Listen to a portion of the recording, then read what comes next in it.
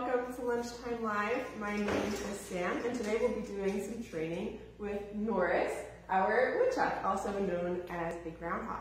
So in the wild, um, woodchucks are known for digging. They dig big burrow systems, and so this training just lets Norris have the opportunity to exhibit those natural behaviors. So come along with me and watch Norris dig and learn about how it's actually really important for our environment.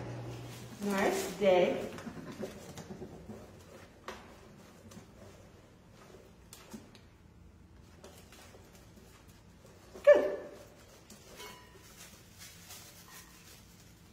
So groundhogs are great diggers, and they dig these elaborate burrow systems that they use to rear their young, hibernate, um, and just stay safe from predators.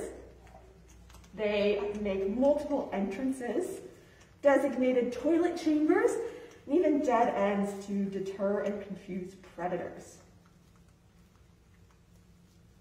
Dig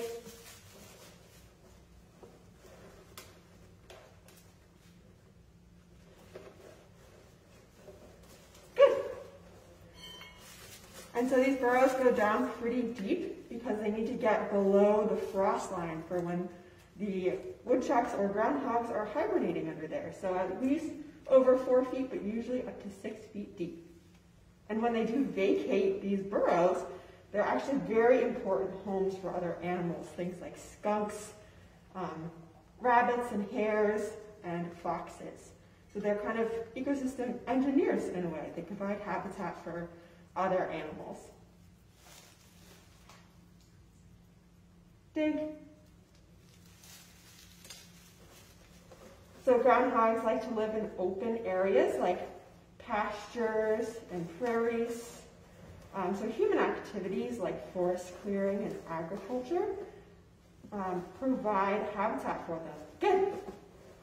And also food for them. So their numbers are able to increase. So they're often seen as a nuisance animal um, because when they come out of hibernation, when they're going in, they lose about 30 to 40% of their body weight. So they really need to beef up. Uh, so they need to eat a lot of food and they tend to eat people's crops. But their ability to dig um, makes them able to provide a really important ecosystem service. So when they're getting down in there and digging around, they're mixing up the soil and aerating it, which improves soil quality for things like plants to grow in. Dig.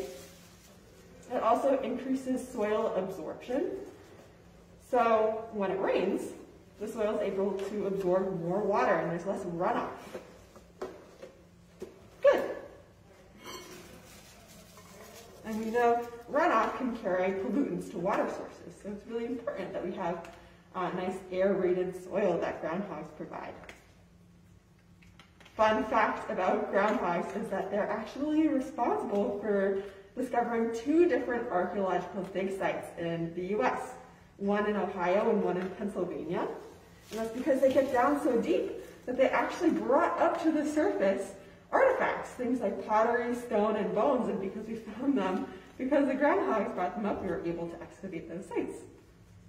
So thank you for joining me today and spending some time with Norris um, and learning all about how groundhog's ability to dig can improve our ecosystem, our environment.